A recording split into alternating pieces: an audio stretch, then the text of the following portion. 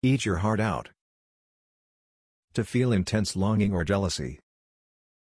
I got front row seats to the concert, Eat Your Heart Out.